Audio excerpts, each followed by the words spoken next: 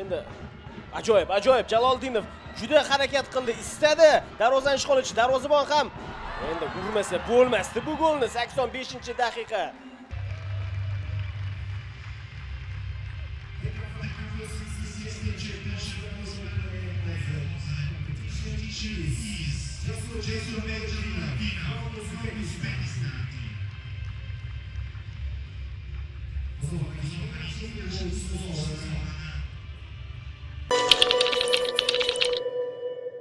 jasur avvalo rahmat taklifimizni rad etmay intervyu berishga rozilik bildirganingiz uchun e, keling suhbatimizni futbolga kirib kelishingiz ilk ustozlaringiz sizga shu futbolni sir asoslarini birinchi bo'lib o'rgatgan insonlar haqida suhbatdan boshlasak. Avvalambor assalomu alaykum. E, besh yoshimda e, navoiy shahrida o'zim tug'ilib o'sgan joyda futboldan tahsil olishni boshlaganman.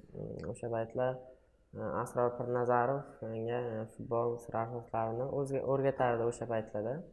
E, yetti yoshimda e, samarqandda shu respublika musobaqasi bo'lganda ikki mingchi yilda tavallud topgan futbolchilar ya'ni o'zimdan ikki yosh katta bo'lgan futbolchilar o'rtasida musobaqa bo'lgan va o'shanda otabek gulomxo'jayev boshchiligidagi jamoaga qarshi o'ynaganman bunyodkorga. Yaxshi taassurot qoldirganman manimcha o'shaning uchun e, otabek aka menga bunyodkorga e, kelib o'zimni ko'rsatib ko'rishimni maslahat bergan va men mm, murabbiyim bilan birga bunyodkorga borganman. O'shanda meni e, sakkiz yoshligimda bunyodkorda olib qolishgan. O'shandan beri bunyodkor akademiyasida tahsil olib kelaman hozirgacha. Hmm. Endi mana ustozlarni sanab o'tdingizda endi nima deydi? Shu futbolchi hozir siz mana o'zbekiston terma jamoasi o'n olti yoshgacha bo'lgan o'smirlar terma jamoasi a'zosisiz shu asosiy rol o'ynagan shu fikringizni nima deydi o'zgartirib yuborgan shu futbolni kasb sifatida yoki kelajakdagi bir sizni taqdiringizni belgilab beruvchi bir yo'nalish sifatida tanlashingizga ko'proq hissa qo'shgan murabbiy sifatida qaysi murabbiyni aytib bera olasiz? Misol uchun borda futbolchilar o'n besh yoshigacha o'ynab turib futbolni tashlab boshqa sohaga umuman boshqa sohaga o'tib ketgan. Sizda qaysi murabbiy qaroringizni yana ham qat'iylashtirib olgan murabbiy? Hmm, o'sha birinchi o'sha navoiydagi birinchi murabbiyim asror pirnazarov ko'proq e, o'sha futbolga undagan qiziqtirgan qo'lidan kelgancha qiziqqan bunyodkor akademiyasiga kelganimdan keyin уже bunyodkorda уже boshqacha hayot bo'lgan уже e, futbolist bo'lishga ishtiyog'im judayam kuchayib ketgan va buning uchun juda juda ko'p murabbiylar menga yordam berishgan bunyodkorda masalan hamma murabbiy e, o'zi yakkama yakka kerak bo'lsa gaplashib o'zlarini kerakli bo'lgan maslahatlarini berib kelishgan o'sha ikki ming ikkinchi yilda tavallud topgan sergey andreyevich boshchiligidagi jamoada e, asosiy e, qismini o'tkazdim hozirgacha bo'lgan hmm. ko'p narsalarni o'tkazdim o'sha hozirgacha erishishimgacha bo'lgan yutuqlarimni ham o'sha jamoada tahsil olib olganman. O'sha jamoa hissasi katta o'sha murabbiyni ham hissasi juda katta deb o'ylayman. Futbolchidagi qiyin qiyin bo'lgan e, qanaqadir e, mashg'ulotlarni va e, o'zim psixologik bo'lgan mashqlarni ham o'sha murabbiy menga o'rgatib kelgan hozirgacha. Keling endi o'sha kafa musobaqasiga qaytamizda o'sha kafada eng yaxshi futbolchi deb topildi. Musobaqaning eng yaxshi futbolchisi deb topildingiz. Hmm. Qanaqa hissiyotlar qanaqa nima deydi o'sha turnirdan olgan hissiyotlaringiz haqida bir o'rtoqlashsangiz fikrlaringizni? Hmm. O'zi xabaringlar bo'lsa kerak o'tgan yili osiyo saralashida osiyo chempionatiga chiqolmadik. Saudiya arabistoniga borib shu saudiya arabiston o'zida mag'lub bo'lib keldik. O'shandan keyin bu o'n olti yoshgacha bo'lgan e, terma jamoa yopiladi deyishdi. Chunki biz juda xafa edik o'sha paytda chiqolmagan jamoa. Aslida juda kam bo'lgan ekan. Sakson sakkizinchi yilda tug'ilgan e, futbolchilar chiqolmagan ekan. Keyingisi biz bo'ldik. Juda xafa edik.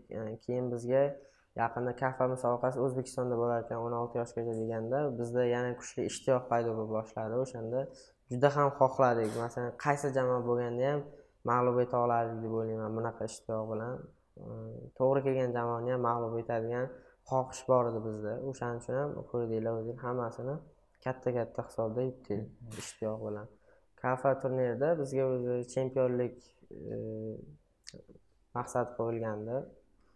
Boshlanmasidan oldin rahbariyat ham biz bilan uchrashib nima bo'lganda ham faqat o'zimiz buni o'zbekistonda bo'lyapti chempionlik maqsad qo'yiladi deyishgan unaqa deyilmaganda ham biz faqat chempionlik uchun kurashishimiz aniq edi o'sha afg'oniston bilan kechki o'yinni ko'rdinglar o'zimiz gol o'tkazib birinchi gol o'tkazgan bo'lsak ham o'zimiz o'yinni yo'qotib qo'ymadik. Hammasi a'lo darajada ketdi. Berayotgan paslarimiz ham to'liq yuz foiz o'xshadi. Kim kimda kim aldasa hammasi ishonchli bo'lib o'xshadi. O'shaning uchun ham keyinchalik to'rtta gol urishga erishdik. Ya'ni ko'p vaziyatlarni urolmadik ham.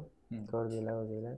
E, kafada bo'lgan murabbiyimiz usmon toshev ham juda e, kuchli murabbiy deb ayta olaman. Biza bilan unaqa ko'p ishlab kelmagan murabbiy lekin shu besh kun olti kun tayyorgarlik bo'lsa ham biz bilan xuddi e, aka ukadek bo'lib ketdi yaqin olib o'ziga keyingi o'yinlarni ham zo'r o'tkazdik deb ayta olaman o'zimiz uchun. Maza qildik hamma bolalar. Yuz foizli ishtiyoq bilan kafani yutdik deb o'ylayman. Hammani ko'ngli to'ldi.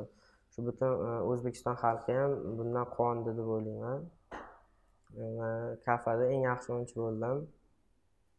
Chunki kafaga musobaqasiga kelayotganimda shu bunyodkor asosiy tarkibga o'tib bo'lgandim. Yaxshi o'ynamasligim ilojim yo'q edi yaxshi o'ynamaslikka. Chunki bunyodkorni yuzini ham ko'rsatib bergan bo'laman bu o'yinlarim bilan. Mirjalol qosimov murabbiy ham buni ta'kidlab o'tgandilar ketishimdan oldin sen shu bunyodkorni yuzini qolaversa meni ham yuzimni ko'rsatib berasan ularga o'yining bilan degandilar. Mana ko'nglim to'ldi. To'g'ri xatolarim bo'ldi. Qosimov murabbiyim xatolarimni aytib o'tdilar. Bu xatoni ham to'g'irlab yanada kuchli bo'lishga harakat qilaman. Endi e, klubdagi faoliyat haqida o'rinbosarlar tarkibida o'ynaysiz. O'rinbosarlar bugungi yoshlar ligasidagi turnir bunyodkori turnir jadvalidagi o'rniga qaraydigan bo'lsak uchinchi o'rin to'g'ri lekin ko'proq mehmonda yutqizish ko'proqda. Bunga nima sababdan? Mehmonda yutqizish balki e, o'yindan bir kun oldin bormaymiz masalan o'yin kuni yetib boramiz o'yinga. Balki kimdirda e, yo'l charchog'i ham bo'lishi mumkin masalan или o'tgan yili e, chempion bo'ldik yoshlar ligasida. Chempionlik himoyalash sal chempion bo'lishdan ko'ra qiyinroq ham bo'lishi ham mumkin shunaqa bo'lishi mumkinda lekin hozir paxtakor birinchi o'rinda ketayotgan bo'lsa paxtakor boshqa o'yinlarni yutyapti lekin bunyodkor bilan o'yin kelganda biz ulardan bir kalla ustun bo'lib qolamiz. Chunki bizda ulardan ko'ra ishtiyoq qobiliyatimiz hammasi ko'rinib turibdi maydonda. Hisobdan ham bilsa bo'ladi lekin qolgan jamoalarga nisbatan o'yinimiz ularda e, qanaqadir boshqacha ishtiyoq bo'lyapti bizga qarshi o'ynaydigan komandalarda o'sha yutish ishtiyog'i ko'proq bo'lyapti. Chunki chempionga qarshi o'ynaladida baribir. O'shanaqa ishtiyoq. Chunki biz balki e, o'yinga kuchlarimiz yaxshi yetmayotgandir chunki tez tez o'yinlar bo'ladiganiga biz faqat bizga qarshi jamoalar e, yuz foizlik e, ishtiyoqda o'ynayapti chempionga qarshi. Hamma yuz foiz bo'lib ishlabdi o'shaning uchun ham bo'lishi mumkin hmm, endi bunyodkor tarkibidagi asosiy tarkibdagi debyut o'yiningiz haqida qo'qon bir ming to'qqiz yuz o'n ikki bilan o'yinda hmm. debyut o'yiningizni o'tkazdingiz va e, manimcha o'n olti yoshda bunyodkor asosiy tarkibida mayli boring o'n daqiqa o'ynagandirsiz o'n besh daqiqa o'ynagandirsiz lekin o'n olti yoshida e, debyut qilgan futbolchi manimcha yo'q bo'lsa kerak. O'shandagi hissiyotlar asosiy tarkibda tushdingiz. Qosimov chaqirdi qo'qon bilan o'yinda saksoninchi daqiqada sakson ikkinchi daqiqada maydonga tushdingiz. Hissiyotlar. E, bu hissiyotlarni to'g'risi aytib berolmayman. Til bilan gapirib aytib berolmayman. U hammasi ichida bo'ladi. O'zi his qilgan odam o'zi biladi. To'g'risi kichkinaligimda shu aziz haydarov javlon ibrohimov o'yinchilar bunyodkor tarkibda o'ynashardi shomurodov ularni faqat televizordan ko'rardim oldin. Shu hmm. orzu orzu qilardim aziz haydarovlar bilan ko'rishni orzu qilardim bir ko'rib qolsamidi deb mana e, xudo e, shunchalik omad beribdiki ular bilan bir jamoada to'p surayapman e, bunday olib qaraganda o'zim bunaqa bo'lib ketishini kutmagandim. Masalan o'rinbosarlar tarkibida bir yil yarim yil ham to'p surganim yo'q bitta o'yin paxtakor jamoasiga qarshi o'ynadim. O'ttiz daqiqa o'shandan keyin asosiy tarkibga mirjalol qosimov jalb qildilar. O'shanda ham sabr qilishimni va debyut uchrashuviga imkon berishlarini aytib o'tgandilar.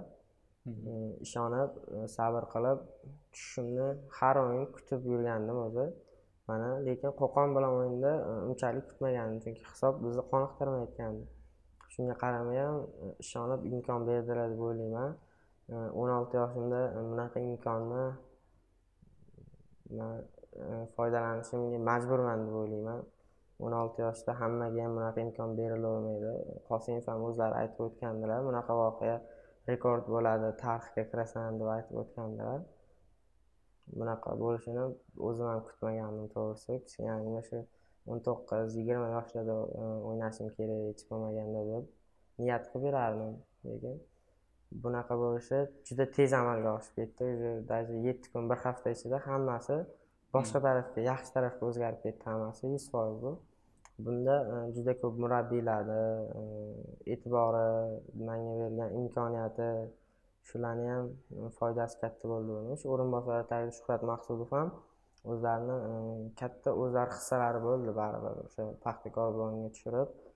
Ozgina ko'zda ko'rindim ko'p odamlarni ko'ziga chunki o'rinbosar tagida paxtakor bo'limi derbi bo'ldi.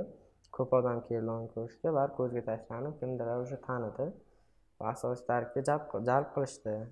Ikki kun mashg'ulotlarga qatnadim va meni qosimov o'zlari gaplashib hamma narsani yaxshi to'liq tushuntirdilar debyutim o'ylaymanki e, yomon bo'ldimi yaxshi bo'ldimi nima bo'lganda ham debyut uchrashuvini o'tkazib oldim. Eng keraklisi e, bunaqa imkoniyatlardan yuz foiz foydalanishga harakat qilaman. Va o'yin oxiridagi ko'z yoshlar. Ko'z yoshlar. To'g'risi debyut uchrashuvini hamma yutishga harakat qiladi ko'proq yaxshi o'tkazishga chunki debyut uchrashuviga ko'p narsa bog'liq bo'lib qoladi ko'pchilik e, debyut uchrashuviga e, e, ahamiyat beradi hmm. masalan qanaqa o'yinchi debyut yomon bo'ldi mana yomon bo'ldi deydi lekin buni hammasini murabbiy biladi u bolani qanaqaligini baribir man uchrashuvni yutqazdik to'g'ri o'xshamadi qanaqadir o'sha hakam bilan bo'lgan tortishuvlar vaqt cho'zilib ketdi ko'proq oyog'imga ko'p tegishga ham ulgurmadi bir marta ikki marta tegdi. To'g'ri pas amalga oshirdim o'shanda ham ozgina o'zimga ishonchni qaytardim. To'g'ri vaqt yetmadi lekin debyut uchrashuvi uchun yetti minut ko'p ham deb o'ylayman manimcha. Kimdirlarga даже oyog'iga to'p tushishga ham berishmaydi. Oxirida ko'z yoshlarim keladigan bo'lsa ichimdan o'tgan hissiyotlar ichimda bo'lgan e, qanaqadir variantlar bo'ldi. Masalan ichimda qanaqadir endi bunaqa bo'ladimi endi bunaqa bo'ladimi degan e, xayollar ham o'tdi. O'shaning uchun o'zimni e, ushlab turaman. Debyutim bunchalik debyut his qilib ko'rmagandimda hali his qilmagandim debyut bunaqa bo'lishini masalan. Hmm. debyut tushiladi hamma narsa zo'r bo'ladi deb o'ylardim masalan. Bunaqa narsa ham bo'ldi. Mana man uchun ham bu narsa dars bo'ldi deb o'ylayman. Shu yutqazishdagi e, qiyinchilikka ham tayyor bo'ldim deb o'ylayman. Bir marta shu sinovdan ham o'tib oldim deb o'ylayman. O'yindan keyin mirjalol qosimov nimalar dedi sizga? O'sha baribir kuzatib turibdida man o'yinni tugaganda ko'rdim kuzatib turdi siz o'sha maydon markazidan ko'z yosh bilan kelayotganingizni kuzatib turib kirib ketdi ichkariga baribir ko'rdi. Ichkariga ham baribir xafa bo'lib kirdingiz. Nima dedi o'sha yechinish xonasida kiyim o'zi e, mirjalol qosimov juda kuchli juda aqlli bilimga boy murabbiy hamma biladi buni ham. Hamma narsaga e, e'tiborlarini qaratadilar. Hech nimani e'tiborsiz qoldirmaydilar shunaqa murabbiylar. Chunki oddiy narsa ham o'yin natijasiga ta'sir qilishi mumkin futbolda. O'sha e, hech qanaqa manga e, unaqa gap bo'lmadi faqat va faqat oldinga harakat qilishim hali bunaqa imkoniyatlar ko'p bo'lishi va ishonchlarini aytib o'tdilar. Lekin kiyinish xonasiga kirganimizda unaqa ko'p gap bo'lmadi o'zi. Keyinchalik o'sha mashg'ulot bazasiga yetib kelganimizdan keyin o'sha yordamchi murabbiy hikmat ergashev bilan gapirib gaplashib oldik o'zimiz. Hmm. hammasini faqat yaxshi tomonga gapirdilar. Hali hammasi yaxshi bo'lishini o'n olti yoshda hammaga ham bunaqa imkoniyat berilmasligini aytib o'tdilar. Shu o'rinbosarlar tarkibi va asosiy tarkib farq. Farq. Juda katta. Lekin kichkina futboldan o'rinbosarlar tarkibiga o'tganda katta futbol baribir hissi bo'ladi katta futbolni tushunib yetadi. Lekin asosiy tarkibga o'tganda u ikki baravarga bilinadi baribir. E, o'rinbosarlar tarkibda o'ynaganda qiyindek bo'ladi qiyin ham o'zi birinchi o'rinda lekin asosiy tarkib bu boshqa narsa baribir. Bu shu professionallikka kiradi yuz foizlik. Har bir harakatimiz уже natijaga ta'sir qiladigan bo'lib qoladi уже lekin e, e, asosiy tarkib уже katta narsa. Asosiy tarkibdan o'rinbosarli tarkibga o'tganda e, sal baribir xotirjamlik o'ziga ishonch ko'proq bo'ladi deb o'ylayman. Qosimov va maqsudov. Ikkita murabbiy hozir bugungi kunda. Misol maqsudov o'rinbosarlarda bo'lsangiz asosiy tarkib уже qosimovni qo'l ostida ham shug'ullana boshlayapsiz. Hmm. Ikkalasidagi farqni yoki ikkalasini solishtirib bera olasiz? Ikkalasini man solishtira olmasam kerak chunki ular vaqtida birga o'ynashgan ham. Как yo murabbiy sifatida ular. Murabbiy sifatida hmm. ular faqat kelishib ish qiladi bilaman. Lekin mani siz uchun siz uchun qanaqa murabbiy? Ikkalasi ikkalasi misol uchun baribir inson insondan farq qiladiyu misol uchun xarakter jihatdandir yoki talabchanlik jihatdandir yoki boshqa tomondandir har tomonlama tushunish tomonidandir balki futbolchini futbolchi sifatida emas shaxs sifatida tushunish umuman ikkalasi qanaqa siz uchun? E, man uchun ikkalasini ham o'rni katta u mana shu darajaga kelishimda ham ikkalasini ham hissasi juda yam katta bo'ldi. Ikkalalarini ham shuhrat maqsudov ham o'rinbosari tarkibida imkoniyat berdilar ishondilar. Mirjalol qosimov ham mani ishonib debyutga ham imkon berdilar menga men uchun bu tengdek bilaman. Qolganlar uchun bilmadim men hmm. uchun ikkalalari ham teng kuchli murabbiy deb hisoblayman. O'rinbosarlar tarkibida endi harakat qilyapsiz misol uchun. Yana qaysi futbolchilarni deylik sanay olasiz futbol bunyodkor endi asosiy tarkibiga tortishi mumkin bo'lgan. Endi ja siz ham nima deydi endigina o'n olti yoshsiz futbolni misol uchun aytishingiz mumkin. Hali qosimov darajasida tushunmasman deb baribir bitta jamoada harakat qilyapsizu. Misol o'zingizdan ustunroqdir yoki siz o'sha yigitni misol hozir bo'lmasa ham yaqin bir ikki yilda asosiy tarkibga o'tib keta oladi deb aytishingiz mumkin bo'lgan futbolchilar bormi? O'rinbosarlar bizda e, hozir olgan taqdirlarida ham baribir odam juda ko'p hozir asosiy tarkibda. Уже ikkinchi davrani o'ziga уже ikkita uchta o'yinchilar kelib qo'shildi aziz haydarov dilshod jo'rayev уже ahmad aliyev qaytdilar futbolga. Ko'paydik. Bor. Haqiqatdan shunaqa kuchli kuchli bolalar bor. Asos o'rinbosarlar tarkibida ham. Ularni o'sha tog'da archazorda bo'lgan tayyorgarligimizda ham olib ketishdi. Bolalarni o'rinbosarlar tarkibidan ham uchta to'rtta bolani olib ketishdi. Menimcha bu narsani baribir murabbiy hal qilgan qazoyi deb o'ylayman tushunarli. Umuman chet el futbolini baribir futbolchi sifatida kuzatib borasiz to'g'rimi? Misol mana o'n olti yoshdasiz debyut qildingiz asosiy tarkibda terma jamoa a'zosisiz chet elda ham xuddi shunaqa yosh futbolchilarni qaysi futbolchilarni kuzatib borasiz o'yinlarini? Havas qilibmi? Yosh katta futbolchilarni demaylik yosh futbolchilarni yosh futbolchilardan mana birinchi o'rinda shu manchester siti jamoasiga muxlislik qilaman shu e, yevropadan. Ularda e, bilsanglar foden degan o'yinchisi bor. Hmm. angliya e, ikki mingchi yilda tug'ilgan yosh futbolchilarda ham o'ynadi. O'sha unga ham masalan guardiola kuchli o'yinlarda bo'lmasa ham chempionlar ligasida o'sha guruhdan chiqib bo'lganda bazelga qarshi imkoniyat berdi u ham masalan o'sha paytda o'n olti o'n yetti yoshida masalan o'sha angliyada ham bunaqa o'yinchilarga masalan imkoniyat berilyapti o'zini ko'rsatgan hmm. yosh o'yinchilarga. Bizda ham masalan mana o'zimga baribir o'xshashlik his qildimda baribir. Hmm, hmm. baribir bunaqalar bo'lib turadi. Yevropada unaqa juda ko'p. Bizda ham masalan qosimovlar shunaqa kuchli murabbiyki yevropa darajasiga ham bora oladi agar kerak bo'lsa. O'shaning uchun ham shunaqa o'xshashlik ko'rdim man hmm. nima savol kutgandingizu berilmadi. Shu nimalardir qolib ketdimi ichingizda? Aytmoqchi edingizu misol shu intervyuga chaqirganimizda nimalardir aytmoqchi edingizu qolib ketganlari bo'lsa nimani so'rashimizni xohlagan edingiz? Bo'ladiyu baribir shunaqa narsani so'rashmadi deb.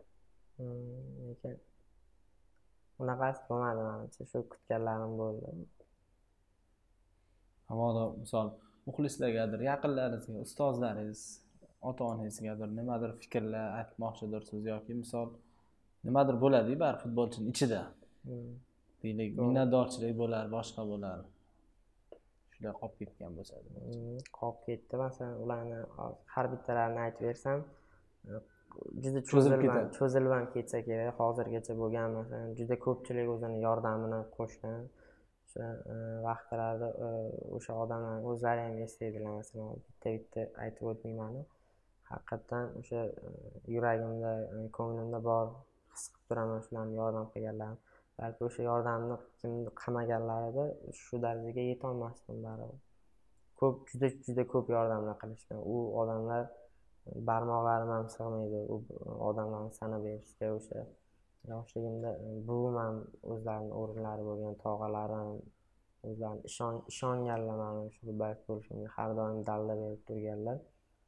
Hammalariga e, kattadan katta rahmat aytaman. O'sha qiyin paytlarimda mani tashlab ketmasdan yordam bergan odamlarga futbol ichida yurgan odamlarga bunyodkordagi murabbiylarimga har bittalariga o'zimni rahmatimni aytib qolaman. Ularni o'rni juda katta ularni til bilan so'z bilan izohlab bera olmayman. Shu mani shu darajaga yetib chiqqanimda ham bunyodkorni hissasi katta. Agar bunyodkor bo'lmaganda bu darajaga chiqolmagan bo'lardim. Taklifni rad qilmasdan kelib vaqtingizda ham intervyu berganingiz uchun sizga kattakon rahmat. Keyingi o'yinlarda terma jamoada klubdagi o'yinlaringizda muvaffaqiyatlar tilab qolamiz. Rahmat rahmat sizlarni taklif qilganlar uchun